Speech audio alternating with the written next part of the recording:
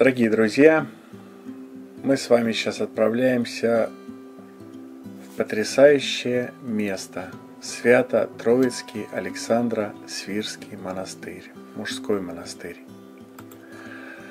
Когда у нас не получилось в связи с, с коронавирусом попасть на Соловки, а, конечно, мы думали о том, что по-всякому может развиваться ситуация, и у нас были, ну, наверное, пару запасных вариантов. Один из запасных вариантов вернуться обратно и обязательно посетить Александр Свирский монастырь. Мы давно мечтали, но никак у нас не получалось, потому что от Санкт-Петербурга довольно-таки далеко, и от Москвы тем более – Дорога туда, из Петрозаводска мы сейчас едем, дорога туда очень хорошая, э, я имею в виду покрытие асфальта, ну просто суперская, потрясающая, хорошая дорога, и вообще дорога э, в Ленинградской области, дорога в Карелии нас очень приятно э, удивила и поразила. Александр Свирский монастырь находится уже на территории Ленинградской области. Ехать примерно 180 километров от Петрозаводска. Ну и от Санкт-Петербурга, по-моему, примерно столько же. Если, если ошибся, поправьте. Смотрите, какая красивая дорога. Но одно удовольствие. Она не скучная, она постоянно петляет то вправо, то влево. Очень красивые сосновые, еловые леса по обочинам дороги много цветов. В одном месте Алла не выдержала, говорит, останови, останови, ну сними, пожалуйста, ради бога, что это за цветочки? Я не знаю, что это за цветочки, в детстве мы их называли, э, по-моему, колокольчики мы их называли. Ну или как-то так. В общем, вот вся обочина, смотрите, потрясающей красоты, насыщенности цветах. Это же не посаженные цветы, это вот так вот дикорастущие цветочки на обочине трассы. Посмотрите, какой асфальт. Асфальт такой, что э, едешь и слышишь только шуршание колес. Если слышишь, конечно. Вот на трассе указатель, показывающий, где свернуть к монастырю. Там примерно 5-6 километров, и мы будем с вами в монастыре. Святой Александр Свирский основал монастырь в конце 15 века. Э, до этого он в 19 лет тайно ушел на Валаам, где 7 лет жил в качестве послушника. В 1474 году принял монашеский постриг с именем Александр. Удалился на уединенный остров и впоследствии названным святым – Александр подвязался около семи лет в пещере. Сейчас находится там Александр Освирский, скит Спас Преображенского Валаамского монастыря. На карте я вам показываю, где располагается Свято-Троицкий Александр Освирский монастырь. А здесь есть парковка, адрес GPS я вам указываю. В 1485 году по благословению игумена монастыря Александр ушел на Святое озеро, расположенное неподалеку от Аланца и реки Свирь. И здесь образовал обитель, ныне известный как Александр Свирский монастырь. А если мы посмотрим на карту, вот я вам показываю. Вы видите, монастырь состоит из двух больших частей. Один комплекс называется Преображенский по имени Преображенского собора, второй Троицкий по имени, соответственно, Троицкого собора. Вот сейчас вы видите э, Троицкий комплекс, и он выглядывает такой купол луковица Троицкого собора. А мы с вами отправляемся в комплекс Преображенский, потому что Троицкий комплекс в данное время закрыт, закрыт на реставрацию, когда она закончится абсолютно неизвестно. А, и для нас это было, как говорится, печаль, что самые интересные, кстати, архитектурные, с точки зрения архитектуры, самые древние храмы находятся именно в Троицком комплексе. когда мы приехали в монастырь, как видите, были тучи черные, накрапывал дождик, и вообще была такая непогода. А, но тем не менее, а, мы отправились сразу в Преображенский собор, потому что там еще шла служба. На весь монастырь было слышно, как а, раздавались песнопения, молитвы. И мы э, решили прогуляться по самому монастырю. Я, соответственно, сделать съемки попозже. Мы отстояли службу. По окончании службы паломники, которые находились в соборе, Преображенском соборе, а, подходили к мощам святого Александра Свирского.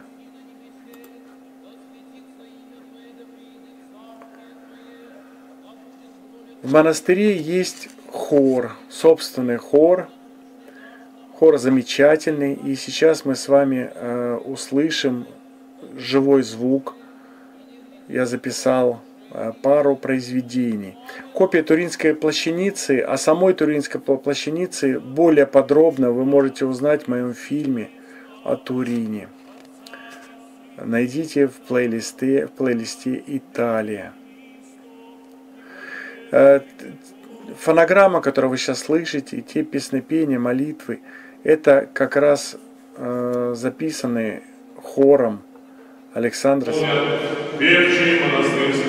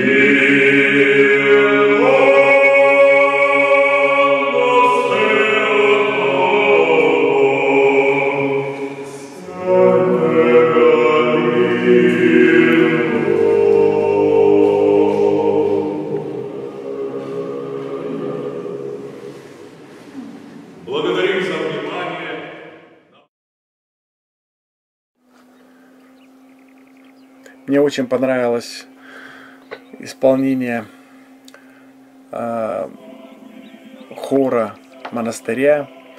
И они там же э, в храме можно купить записи, аудиозаписи их молитв, песнопений, в том числе русских народных песен.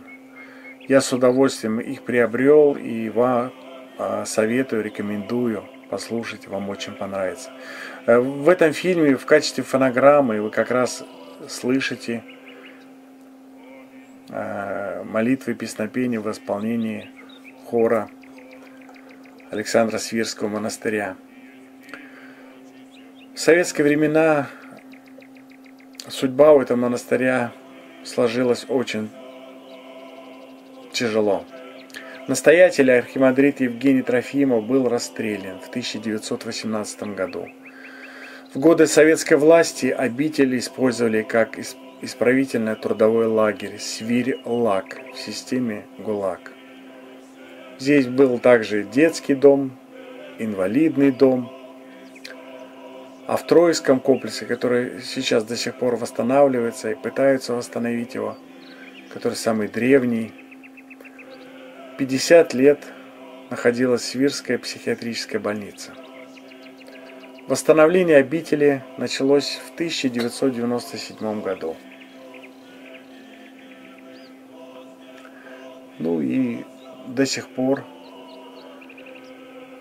Троицкий комплекс еще не восстановлен. Мне очень хотелось попасть на территорию Троицкого комплекса монастыря, но, к сожалению, там э, были закрытые ворота, висел замок. И, э, находясь на территории монастыря, я э, пытался спросить местных сотрудников, э, обращался к священнослужителям, а кто может помочь в том, чтобы попасть на территорию э, Троицкого комплекса монастыря. Вы знаете, э, какое-то проведение или какое-то чудо. Кстати, первое чудо вы, наверное, даже не заметили. Когда мы вышли после службы из Преображенского собора, вы обратили внимание на небо. Все поменялось были черные тучи, был дождь, а сейчас голубое небо, потрясающие белые облака. Посмотрите, какая красота. И второе чудо свершилось, я вот как раз начал о нем рассказывать. На территории монастыря я встретил э, человека, который знает меня по моим фильмам, по моим фильмам, рассказывающие о храмах, монастырях России, рассказывающие о походе паломнической поездки на Святой Афон. И этот человек э, сказал, что он постарается помочь мне в этом вопросе. И, дорогие друзья, хочу вас обрадовать. Сейчас мы с вами попадем туда, куда, в общем-то, немногие могут попасть. И мы увидим потрясающей красоты архитектуру 16-17 века Александра Свирского монастыря. Мы идем с вами в Троицкий комплекс. Мы отправляемся в соседний комплекс, Троицкий комплекс. Ну, как видите, здесь между ними, наверное, метров 300-400. Звонится 1646 года. Троицкий собор, конец 17 века. А вот э, храм, церковь Покрова Пресвятой Богородицы с трапезной 1533 год строился при участии святого Александра Свирского. Здесь идет реставрация. Сколько она продлится, абсолютно неизвестно, потому что денег требуется очень много. А сами понимаете, денег государство э, вряд ли выделит много. Ну и у монастыря тоже средств не хватает. Мне кажется, если есть люди, обладающие средствами, которые сейчас смотрят мой фильм, или вы знакомы с такими людьми, то замечательный способ оставить о себе память потомкам, память на многие-многие годы – это помочь в восстановлении Свирского монастыря, Александра Свирского монастыря, особенно его Троицкого комплекса. Мы сейчас с вами отправимся э, непосредственно в Троицкий собор, и вы посмотрите, какая здесь красота. Этим фрескам более 300 лет. И эти фрески еще ни разу не подвергались восстановлению. Посмотрите, какие краски яркие. Невероятно яркие цвета. Какие интересные сюжеты.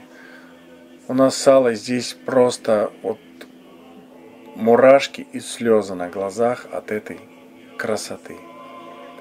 Если удастся восстановить этот комплекс, восстановить все эти фрески, отреставрировать, это потрясающие красоты э, соборы, храмы. Это будет подлинная жемчужная не только Ленинградской области, но и всей России. Разумом Богу просвященный постиглась и суету мира сего, и непостоянство в нем же радость сменяется скорбью, благополучие наветуется нечаянными бедами, тем же вещи нетленных благ вожелалось очи преподобнее, и сев взыскать не пощал за Иси, отречение мирских благ и вольную нищетою, подвигая нас звать и Тебе. Радуйся, пустынного безмолвия любителю,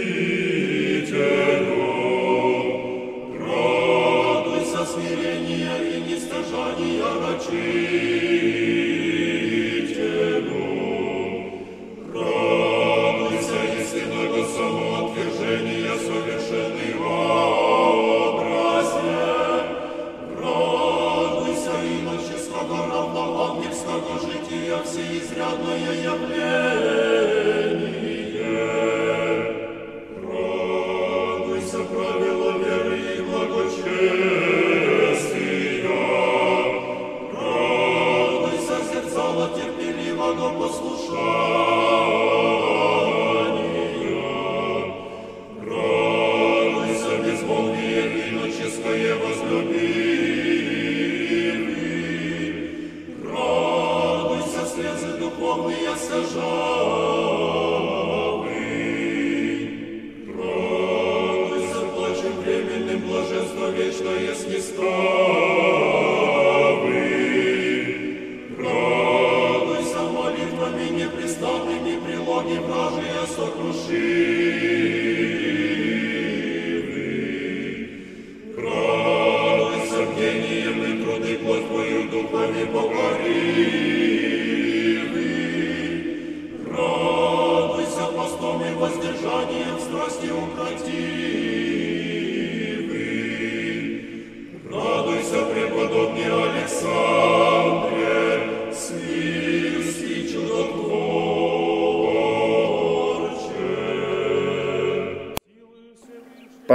Большим впечатлением от Троицкого собора, от фресок, от потрясающей русской архитектуры 16-17 веков, мы возвращаемся э, ну, более-менее восстановленный комплекс, Преображенский комплекс. Как думаете, зачем мы возвращаемся? Ну, кроме того, чтобы поблагодарить людей за то, что нам предоставили возможность посещения Троицкого комплекса, мы, конечно же, собираемся посетить монастырскую трапезную. Рекомендую. Давно не ел таких красивых, хлебо, э, красивых вкусных хлебобулочных изделий, как здесь, в монастыре, монастырской трапезной.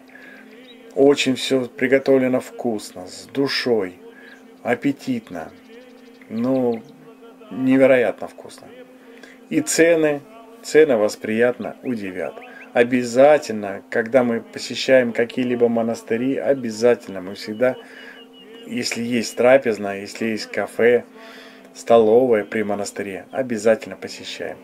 Я нашел здесь книгу жалоб и предложений и пишу свои восторженные слова о работниках этой трапезной. Молодцы. А мы с вами отправляемся на другую сторону, сторону озера, чтобы посмотреть. Вот я нарисовал желтым примерно дорогу. Такая вот дорога, очень простая, кажется, не асфальт, утрамбованная глина. А, на другую сторону озера, чтобы посмотреть на монастырь через водную поверхность озера. Как правило, это всегда бывает очень красиво. И к тому же погода настолько распогодилась, стало жарко, было уже градусов, наверное, 27-28 тепла. И нам захотелось где-либо искупаться. Мы спросили в монастыре, можно ли в этом озере купаться. Нам сказали, конечно. Вот езжайте туда, как раз куда мы едем. Там даже э, часто местные, не местные жители, а туристы, которые приезжают из э, Москвы, из Ленинград, Ленинград, Ленинградской области, из Санкт-Петербурга, они там останавливаются, делают палаточные городки, это не запрещено. А посмотрите, какой красивый лес.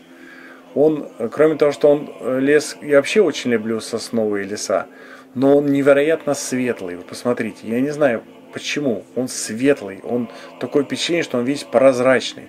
Обычно сосновые леса, они очень темные, а здесь прям э, свет, даже вот э, вся поверхность, посмотрите, травы, вот этого кустарника, она полностью э, освещена солнцем. Невероятной красоты сосновый бор.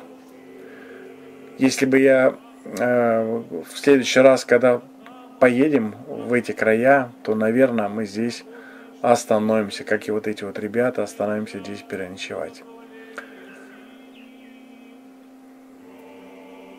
Вот такое озеро, смотрите. И на той стороне монастырь. Вот видите, с левой стороны это Троицкий комплекс – а с правой стороны Преображенский. Два монастыря, две части одного Александра Свирского монастыря. А, здесь была дружная компания, которые готовили обед, которые э, купались. Мы решили им не мешать, а найти место э, где-нибудь поодаль чтобы искупаться. А вот оказывается, вот эта трава или кустарники, которые мы видели, когда ехали на машине, да, вот из окна, это вот, вот эти ягоды. И не знаю, подскажите, что это, голубица, черника, ну что-то вот такая вот съедобная ягода. А мы нашли здесь замечательный пляж поближе к монастырю. Отсюда тоже открывается красивая панорама на монастырь. Вода очень теплая, чистая. Но она, понятно, что озеро есть озеро. Она такая, знаете, с рыжеватым оттенком. Часто бывает в озерах. Говорят, что много металла, что ли, в воде. Вот. Но вода чистая, без всякого запаха. Растут вот такие вот или лилии, или кувшинки, не знаю, как правильно их называют. И мы с Аллой решили здесь, именно в этом месте, искупаться. Особенно это было приятно делать в таком красивом месте.